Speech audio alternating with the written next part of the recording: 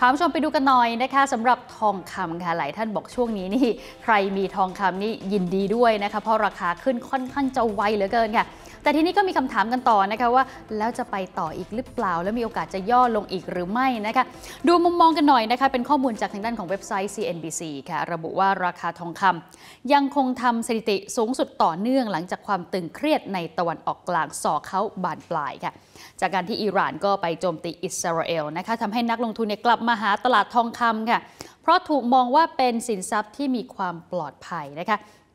เมื่อวันจันทร์ ราคาทองคำทำสถิติใหม่อีกครั้งค่ะ โดยสัญญาซื้อขายทองคำล่วงหน้างวดเดือนมิถุนายน ปรับราคาเพิ่มขึ้นนะคะร้อยละ 0.37 สู่ระดับ 2,383 ดอลลาร์ต่อออนซ์ ขณะที่ผู้เชี่ยวชาญบางรายมองว่ามีโอกาสที่จะขยับขึ้นได้อีกขณะที่ราคาทองคำไปแตะระดับสูงสุดตลอดกาลค่ะที่ 2,448.8 ดอลลาร์ต่อออนซ์ในการซื้อขาย ระหว่างวันเมื่อวันศุกร์ที่ผ่านมา นักวิเคราะห์จากซิตี้สถาบันการเงินรายใหญ่ก็ระบุว่าราคาทองคำก็ยังผันผวนนะคะ ความผันผวนเนี่ยมาจากปัจจัยเรื่องภูมิรัฐศาสตร์ที่ร้อนละอุค่ะ แล้วก็สอดคล้องกับดัชนีหุ้น พร้อมกับคาดการณ์ว่า ราคาทองคำอาจจะแตะ 3,000 ดอลลาร์ต่อออนซ์ได้ในช่วง 6-18 เดือนข้างหน้านะคะย้ำอีกครั้งนี่เมื่อกี้เช็คก่อนเข้ารายการสักประมาณ 2,374 เหรียญนะคะ ความต้องการสินทรัพย์ปลอดภัยเพิ่มขึ้นนะคะท่ามกลางความตึงเครียดที่เพิ่มขึ้นในตะวันออกกลาง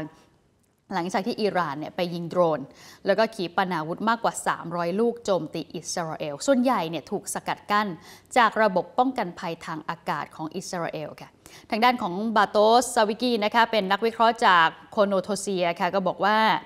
สถานการณ์ดังกล่าวทำให้ตลาดจับตาอย่างใกล้ชิดว่าอิสราเอลจะตอบโต้กลับหรือไม่ ซึ่งหากมีการตอบโต้กลับก็จะทำให้ความขัดแย้งในภูมิภาคนี้ลุกลามขึ้น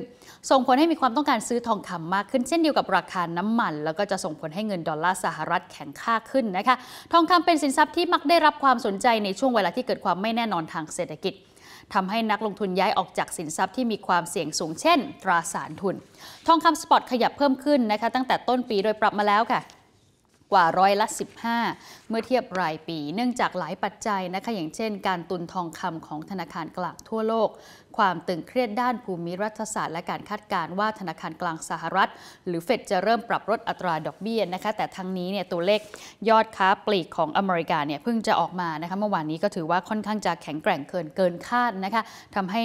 นักลงทุนหลายคนเริ่มมองต่อค่ะว่า โอกาสที่เฟดเนี่ยจะลดดอกเบี้ยเนี่ยนะคะก็มีน้อยลงพูดง่ายๆหลายคนกลับกลับไปมองว่าการคงอัตราดอกเบี้ย ในระดับสูงเนี่ยก็น่าจะมียาวนานมากขึ้นหากว่าตัวเลขเศรษฐกิจของอเมริกายังคงออกมาอย่างแข็งแกร่งก็ทำให้บอลยูสหรัฐเนี่ยดีดตัวขึ้นมาด้วย ทีนี้พอบอลยูสหรัฐดีดตัวขึ้นมานะคะก็เป็นปัจจัยกดดันทองคำอีกทางหนึ่ง ดังนั้นแปลว่า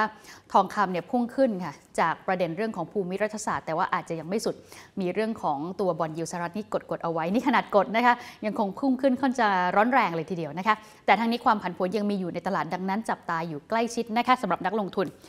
ขอบคุณสำหรับการติดตามรับชมรายการย่อโลกเศรษฐกิจนะคะ อย่าลืมกด subscribe กดกระดิ่ง กดไลค์กดแชร์ในทุกช่องทางออนไลน์ของ TNN ช่อง 16 นะคะ แค่นี้คุณผู้ชมก็จะไม่พลาดค่ะ รายการสดและก็คลิปดีๆอีกมากมายค่ะ